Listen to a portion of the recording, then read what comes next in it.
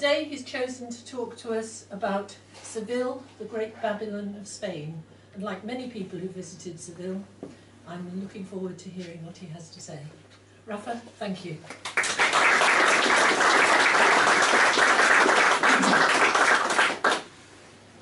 Thank you so much. Um, honestly, every time I, I come here, it's like coming home. Because it is. um, and also because you're the friendliest group of people imaginable. It's, it's always nice to see such friendly faces. So, imagine, if you will, that we could come back in 500 years' time and see the world again through our eyes in the year 2520. Imagine what we'd see. Imagine New York City, the skyline sprung to amazing new heights with technologies that we can't even begin to comprehend, and the monuments of our time dwarfed beneath them. We'd of course be, I hope my mic's working okay. We'd of course be surprised and awed by what we saw. But what if we came back in 500 years' time and nothing much had changed at all? What if New York was largely a collection of heritage buildings from the 20th century, surrounded by a vast, undifferentiated sprawl? The energy that had gone into creating the Big Apple, Earth's most influential city, had simply drained away. We'd probably be even more surprised and awed by that, because we wouldn't be expecting it. Seville was the New York of its day, Earth's most influential city. Its streets were paved with gold and opportunity, and its population was dynamic and flourishing. It was the go-to place for every adventurer, entrepreneur, chancer who wanted to make the world theirs. Great cities have their century. London owned the 19th. New York owned the 20th. Seville owned the 16th. It was the most prosperous place on earth for a time, engorged with the gold and silver of the New World, all of which came through its gates. The Seville that we know today was shaped in its golden age. Its character, its taste, its flair, yet the energy that built it has long since drained away. It is now largely a collection of heritage buildings from the 16th century, surrounded by a vast, undifferentiated sprawl. History doesn't move in a linear trajectory. It moves in loops and eddies. The forward momentum through which we live our lives is an idea that exists mainly in our heads, one that we project onto the world. History, on the other hand, has a habit of turning back on itself. The fortunes of Seville, of Seville are the fortunes of Spain. Its great century was the century of the Spanish Empire, the wealthiest and most powerful on earth. And by the time that century was done, in 1598, when Philip II died, the empire was already on the decline. In that century, Seville's Siglo de Oro, she managed to turn herself into one of the most beautiful cities in Europe. She is much more than a place to visit. She is the fiery soul of Spain herself. For half the world, the image of Spain is Andalusia, the romantic south, and Seville is the dangerously bewitching soul of Andalusia. Sun or shade, no half measures. Here is Spain intensified. In the summer, the air itself melts. The ground smoulders at our feet. The light is brilliant, colours vivid, shades extreme. We are in a European city, but more so. For Europe, this feels exotic. Sevillians have a sharp wit and a jaunty stride, a confidence that comes from knowing what it's like to have ruled the world. A pulse that is loud and flamboyant, a daily rhythm that defies comprehension, and a hot African temper underneath. Its Islamic buildings sit like a sediment, powerfully contributing to that flavour, reminding us of desert roots.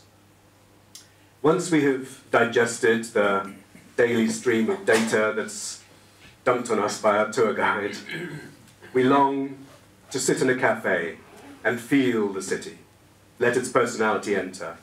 This is how we make Seville ours. Seldom on our return home do we narrate to our friends what happened in 1362, although we'll be getting to that. But we do talk about that quirky spot in the secluded patio, about a particular flavour of food. We absorb the city more through our being than our head. It is not just a place we visit, it is made of us. It is a stirring of collective emotion, and its personality needs to be felt. If we are used to our daily rhythm being quite constant, here we take a step over that frontier of reality. The city is languid and lazy in the mornings as the sun brings in early heat. By midday, there's a bustle, a semblance of life. Everything functions as it should. But no sooner has all this begun than the afternoon contracts into a stupefied torpor. Seville lives for the evening. This is when her artistry springs to life. She has the vitality of an opera stage, so abundantly expressive, so close to caricature, a magic bag of tricks, great fun, great excitement, spontaneous beauty. People step out to be seen, and the proud, ornamented houses join the parade. In nooks and crannies, shaded patios filled with flowers, tantalizing glimpses through doorways and alleys, her inhabitants move about this set with a stagey air. As the streets become crowded, the rhythm accelerates, pressure builds to a happy fever, and the night detonates. Feeding happens in a frenzy of noise, big tables, big families, children playing at midnight. It's rumbustious, cariñoso, and loud. The streets become hideous with hooting, scooters roaring, every dial turned up. Insects join the general cacophony, chirping all night. This is a culture that loves to make noise. After all that's done, it's time to go out. Singles swagger into the soulful night, heavy with jasmine and orange and the sad strains of canto hondo, oriental, Gregorian, Islamic, Jewish, that the gypsies have made their own. A sensual magic begins to work, drugged by food, wine, jasmine, so much beauty and hospitality. You could be at an impromptu flamenco performance or a party in the patio of a house. At six or so, it's time for bed.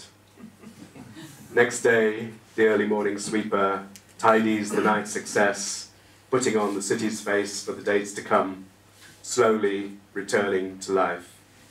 Strong coffee for a sore head, a thread of smoke, a tang of anise, smell of fat from a churros stand, and the happy cycle repeats. Like New Yorkers, Sevillians have character in abundance and a swaggering self-confidence that comes from having known what it's like to occupy the very center of life. Even though her century was a long time ago, that character is undiminished to this day. Seville's golden age began in 1503 when she won the great prize of being granted monopoly over all trade with the New World by Isabel, just a year before she died. It was an extraordinary move, one that set in motion a way of thinking that has persisted to this day. Many advised against creating a monopoly and a single port of trade, suggesting that the country would benefit far more from distributing its wealth across the regions, allowing the whole economy to flourish and allowing widespread new industries to generate. But Isabel's slow, devout nature tended towards autocracy. She was afraid of the Muslim threat along the Mediterranean coast. She was afraid of the power of Aragon who she thought might continue to dominate her fledgling country. she treated her newfound colonies as her own private property and intended to steer the maximum amount of money straight into the royal treasury. Seville, of course, was not an obvious choice. Cadiz, a rival, would perhaps have been more appropriate. But Cadiz was considered a little too exposed. The city was forever coming under attack, close enough for an invading fleet to breach the harbour, close enough for Drake to famously boast that he could singe the King of Spain's beard. Imagine how much more frequently it would have been attacked if Cadiz had harboured all the gold of the New World. She was never as lucky in fortune as Seville. Even Columbus chose not to sail from there in 1492 because the port of Cadiz was full of ships deporting Spanish Jews, so he sailed from Palos instead. Isabel chose to burrow her fleet deep inland for safety, 80 miles upriver to the old Almohad port at the Arenal, even then hardly a port. The moorings and shipyards were on the riverbank. Yet it was a safe haven of sorts.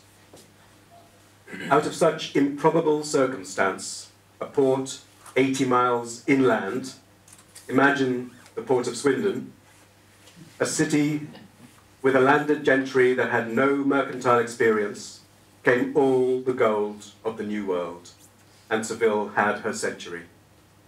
It was a move that set in motion the foundation for Isabel's New Spain, autocratic, immutable, grandiose, and irrational, that has persisted to this day. The fact that the city had no mercantile experience was a significant element in its downfall. Only a decade before Seville was granted its monopoly, the entire mercantile class of the country had been deported. The loss of the Spanish Jews at the moment when Spain most needed skills to administer the finances of its vast and ac accidentally acquired empire was a fatal move many of the same Jews moved on to set up the new banking houses of Amsterdam and Germany, into whose debt Spain very quickly fell, paying vast interests on loans as she slowly bankrupted herself. Ultimately, they had a kind of revenge. One would imagine for a great trading port to flourish, there would need to be a great shipbuilding industry to serve it. But there were no suitable trees near Seville, just olives as far as the eye could see, nor the skills fit for such an enterprise. Philip II tried to buy wood from Poland to build a fleet, and was so disappointed by the quality of ships built in Seville that they were forbidden from taking part in the American voyages. The city never managed to compete with the Basque shipyards. Such were the beginnings of her Siglo de Oro. In compound foolishness, it unraveled. All ships bound for America had to leave from here. Land on the other side. This is a map that can be found in the, in the archive of the Indias in the middle of Seville next to the cathedral. It's extraordinary. This is what the world looked like in 1502. Um, these immensely complicated expeditions, which depended for their success on the timings of such things as the Bolivian rains and the hurricane season off the coast of Cuba, were regulated by the Casa de Contratación, or House of Trade, set up in the Alcazar, the royal palace.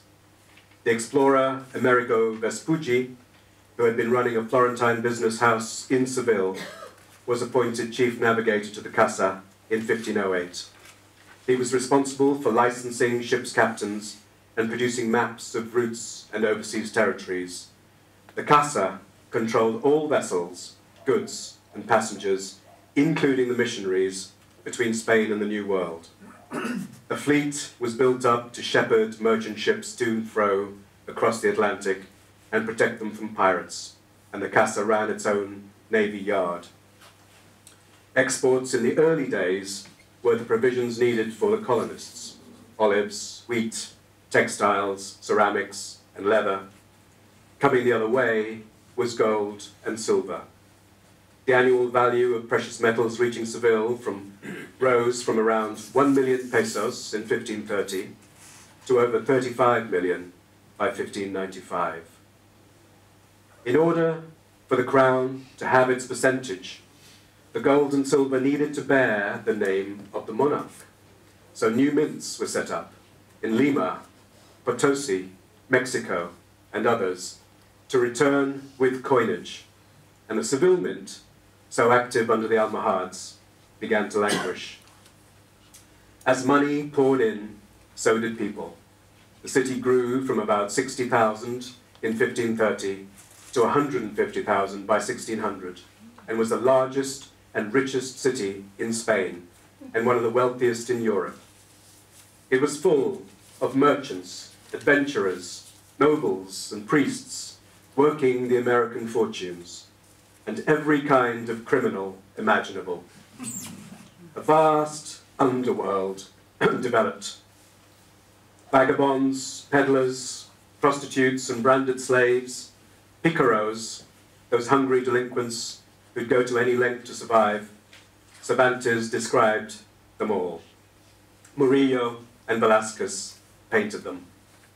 This was the nation's center of crime and sin, and also a city in an endless search for God.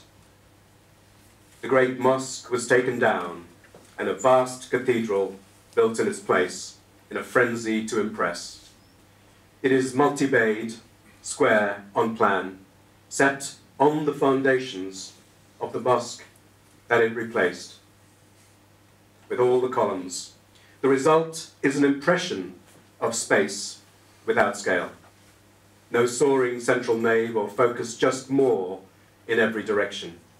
It is heavy and quite brooding, boasting the biggest gold altarpiece in the world, the quality it possesses is of devout muscularity, size being its crowning glory, second only to St. Peter's in Rome. Let us construct such a grand cathedral that all who see it will think us mad, gloated the canons of the chapter, with all the money in the world to spend. The cathedral is made great by its adjoining tower of the Giralda. The city's monopoly was never as exclusively Castilian as it appeared.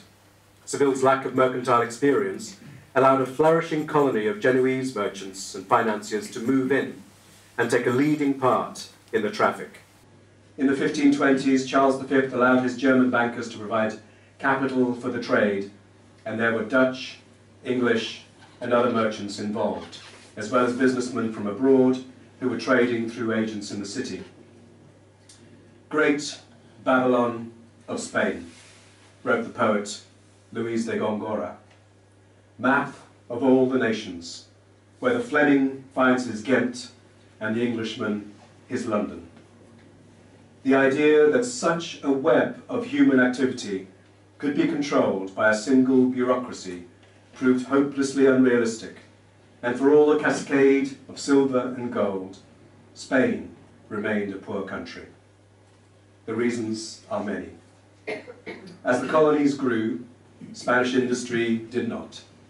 Seville had the opportunity, which it failed to take, of becoming the major producer of goods for the New World. It could have manufactured all the cloth and fabric for the Americas, yet curiously it preferred to import from other European cities. The only major product that was from Seville was olive oil. The problem was not a shortage of skilled labour, but the indifference of the local nobility who might have provided the investment. The Dutch, English and French cut themselves huge shares of the Spanish pie. A good deal of the gold and silver never made it back. It was too tempting. The ready coinage was an effective world currency, and Spanish pieces of eight made of high quality silver were tradable everywhere, finding their way as far afield as China. Through piracy, an unknown, unknowable quantity of wealth still lies at the bottom of the sea. A good deal also disappeared illegally, unloaded at night from ships in the mouth of the Guadalquivir at San Lucar and stowed on board vessels waiting to be taken to Northern Europe. The Casa de Contratación accused the Association of Merchants of participating in the fraud, but there was fraud at every level, from the generals of the fleet to the merchants of the Consulado, from the Casa de Contratación to the Council of the Indies itself. Such are the consequences of attempting single-minded control. The result is inevitably a leaking vessel. If Seville preferred to develop its, its business into an enormous market rather than an industrial centre, it might have provided some commercial and banking institutions that were appropriate to its scale. The Seville Mint, the largest in the world, had little to do. It minted only coins of high denomination, not with New World gold, but with recycled Almohad gold. These eight escudo coins were then, as now, worth a small fortune and could not be used in the shops. Their value was in trading between governments and royalties, purchasing armadas and fighting wars. They would shift from one treasury to another and remain there, never seeing the light of day, so they can often be found today in near mint condition. If you wanted to buy a ship, you would need a small bag of these coins. There were Spanish bankers in the early years, but most of them went bankrupt after the middle of the 16th century, and from then on, the great commercial fortunes of the city were made by foreigners. It was irksome that the silver and gold mined in the Spanish Empire and sent to the greatest Spanish city should mainly end up in the pockets of the Dutch and Genoese. Sevillian aristocracy refused to touch industry or trade. They developed a culture of indolent nobility, taking the view that labour was degrading. Finally, the river itself betrayed her. There were a series of earthquakes and floods, one of the worst in January 1627, when the river poured through the gates and flooded the entire city. Around 3,000 houses were ruined. Another in 1683, which destroyed a third of the city. There were a total of 17 inundations in the 17th century. The earthquakes disrupted the river level and it began to silt up. The sandbar at San Lucar, this is what it looks like today, virtually closing the mouth of the estuary, became increasingly difficult to navigate, and many ships floundered there. Some captains left Seville without their cargoes, which they then loaded dangerously on the open sea, for the sandbar was considered an even greater risk. Ships were getting increasingly larger, making the problems ever greater. There were ideas put forward for dredging canals, widening the river mouth, but none were carried off, and eventually Seville had to accept the inevitable. Isabel's autocratic vision had floundered, quite literally, on the sandbar at San Lucar. Cargoes in future would be loaded and unloaded at Seville's great rival, Cadiz. And that was it. Her century was done. Seville's fortunes and misfortunes mirror those of the nation itself. Extravagance in wealth and power, advantages squandered again and again through poor leadership. Cervantes lived here in the city's golden age, when it was the centre of the world. He conceived Don Quixote while serving time in Seville's royal jail in 1597. There could be no better eye than his to observe her at the very height of her crowning glory. This jail was quite unlike modern jails. It was a concentrated hive of 1800 or so of the wickedest characters found anywhere in the Spanish Empire and itself a thriving marketplace. There were merchants inside who set up stalls in the courtyard, dancers, fiestas, food and drink, a microcosm of the city whose customers were thieves, blasphemers, pirates, and adulterers. The difference between inside and outside was a blurred line. Nearly all of Cervantes' work draws on the surreal contradictions of Spanish society in its moment of glory. But there is one poem that he wrote which encapsulates Seville most succinctly. It is called Al Túmulo de Felipe II.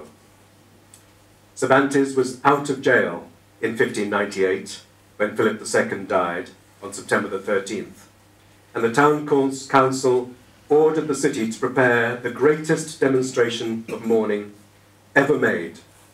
A giant simulacrum of a tomb was constructed with as much pomp and grandeur as possible. It took 52 days and filled the entire nave of the cathedral. You can see here, it's been drawn as if it's outside, but these are the columns of the cathedral itself, and it was built to fill the entire building. The council bought up nearly all the available black double bays to make mourning attire for its officials, creating a scarcity of the cloth and a huge price increase.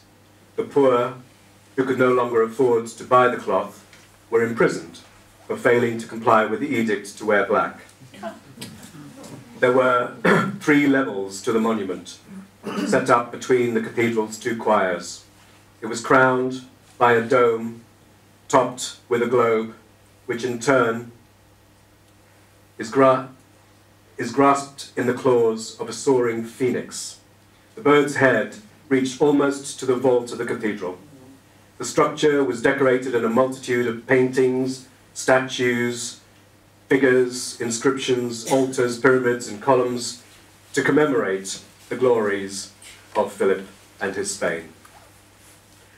Now, as the ceremonies began, a disagreement broke out between the town council, the Inquisition, and the royal tribunal, because the tribunal had placed black cloth upon the bench where the judges and their wives were to sit.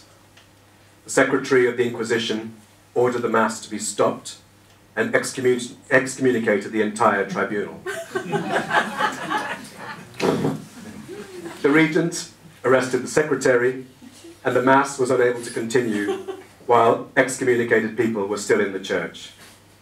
This produced a tremendous standoff, and all parties remained seated in silence from early morning until four in the afternoon, when they eventually got up and just walked out. Cervantes saw the two, heard about the squabble and the insults that ended in nothing. Perhaps he even witnessed it. The result was his sonnet. The translation doesn't really do it justice. The language is deliberately coarse and profane, but the sonnet went viral. It was circulated across Spain in manuscript copy and broadsheet. Its huge popularity suggested an attitude to Philip II that didn't quite reconcile with the official one. And it produced a catchphrase which has lasted to this day. The last line, fuese y no hubo nada, went in a puff of nothing. Designed to show Seville's great riches, the costly monument was in reality a shell made of paper and wood. If you looked beneath, you could see that it floated on air, just as the Sevillian economy did. The city was practically bankrupt, giving the appearance of wealth, and its power structure was as wretched as the cathedral squabblers had revealed.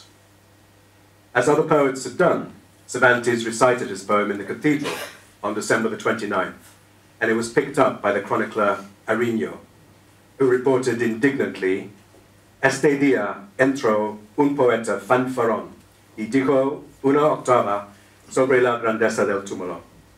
He was calling Cervantes a fanfaron, a braggart, identifying him with the braggart in the poem, and thus unwittingly blurring the line between reality and comic illusion that Cervantes loved to do. Many visitors who visit the cathedral today make their way first to Columbus's tomb. It's hard to miss.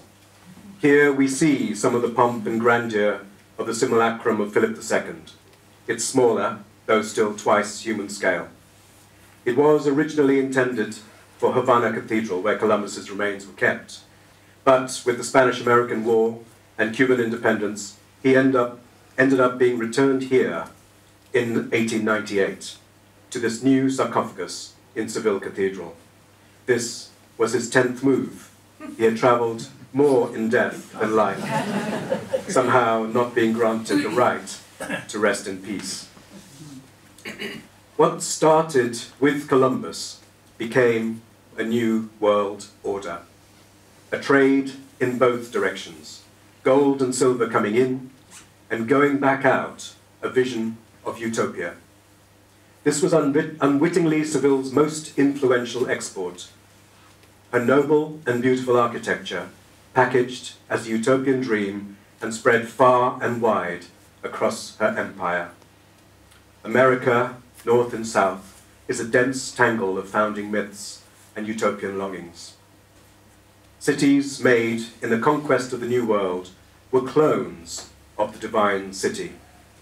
A chessboard grid organized from the Plaza Mayor and the main church, urban order over wilderness, utopia over reality, laid down uniformly by the Spanish state in all its new territories. It was inspired by the Roman model, order and grid, Cardo and Decumanus, and driven by a strong desire to break with the Muslim organic tradition.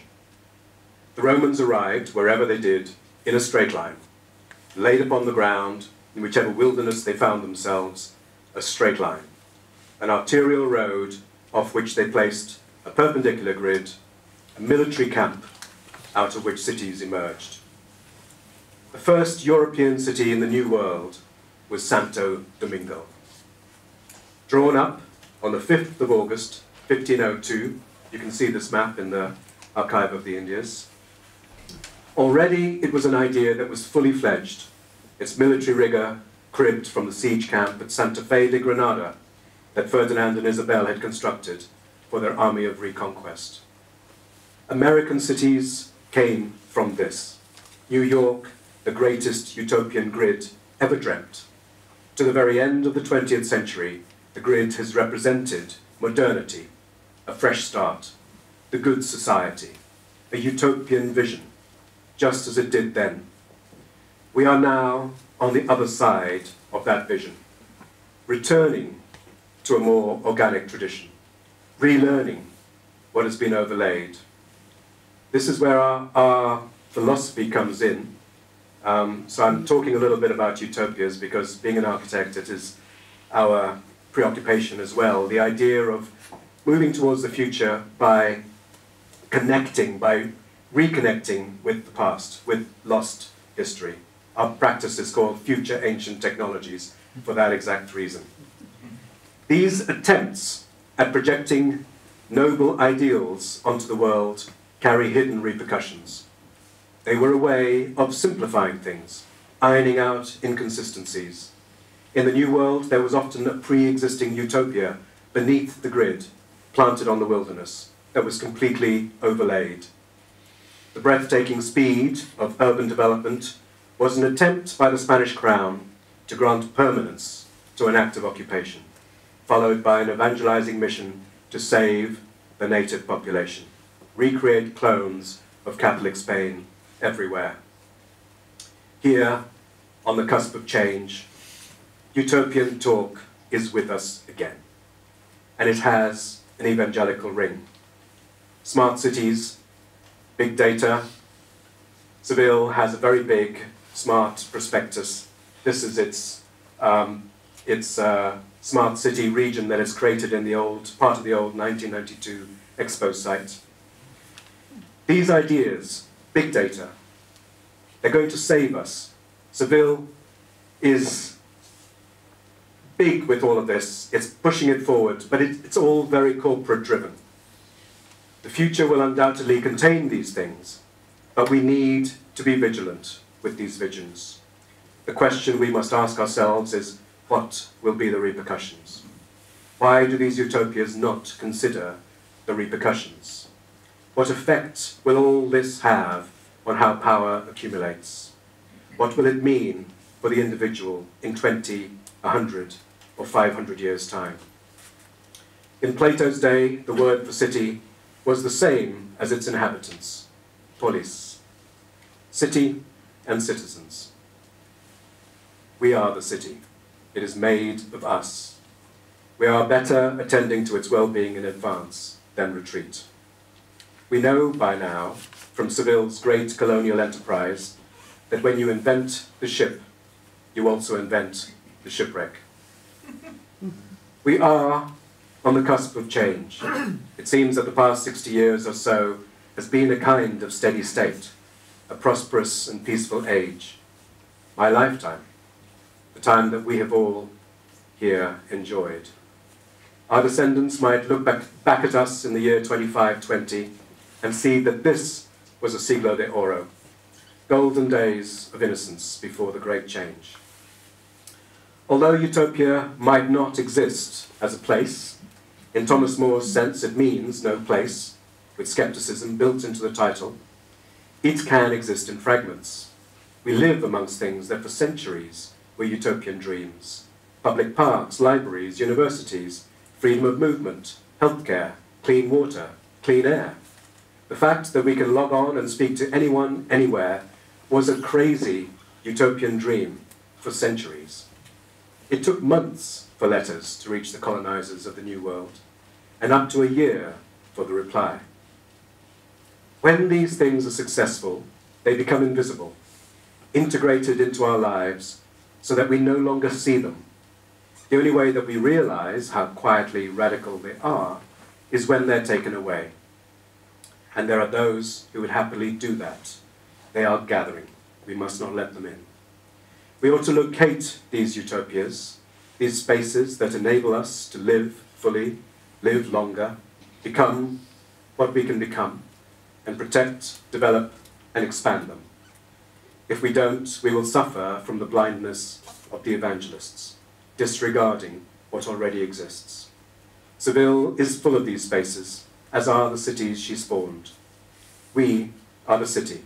It is up to each of us to carry the weight and the responsibility. At best, the idea of utopia serves as an impulse, a direction, a point to aim for and from which we can look back at ourselves in the future from 2520 and judge how we were doing. It's an impulse that says, it's time for coffee.